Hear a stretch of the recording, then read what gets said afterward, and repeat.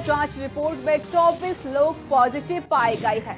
तो बड़ी खबर आपको बता रहे हैं, चार सीएम हेल्पलाइन कॉल सेंटर के कर्मचारी भी पॉजिटिव पाए गए हैं। 19 पीएससी के जवानों में भी कोरोना की पुष्टि हुई है।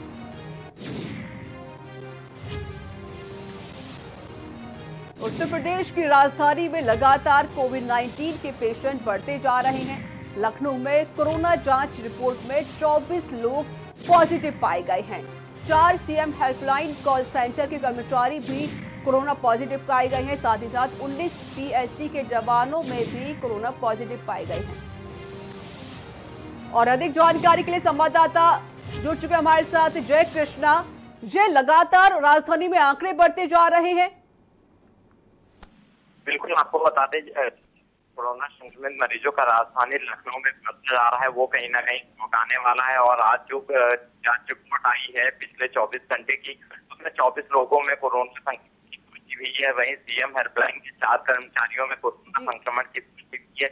पीएसी के उन्नीस जवान शामिल हैं और एक अन्य मरीज़ आदतगंज का निवासी और इसी के साथ जो अब तक का कुल संक्रमित आंकड़ा है वो लगभग छह सौ चौवन के आसपास पहुँच चुके हैं और लखनऊ में एक्टिव केसेस की संख्या है वो भी दो सौ बासठ के पास पहुँच चुकी है। तो ऐसे में कहीं ना कहीं जो राजधानी में लगातार है वो बेहद ज़्यादा चौंकाने वाला है और सतर्कता बरतने की देने वाला है।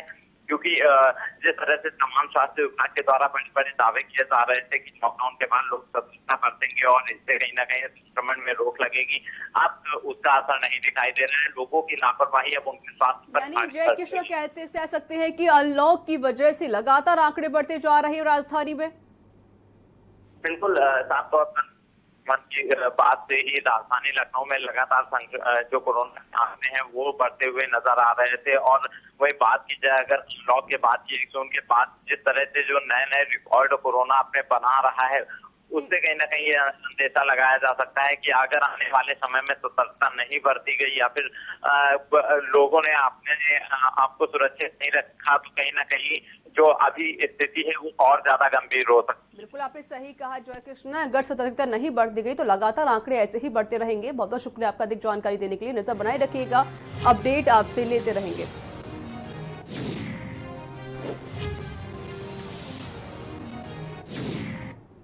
और इस बीच आपको बुलंदशहर से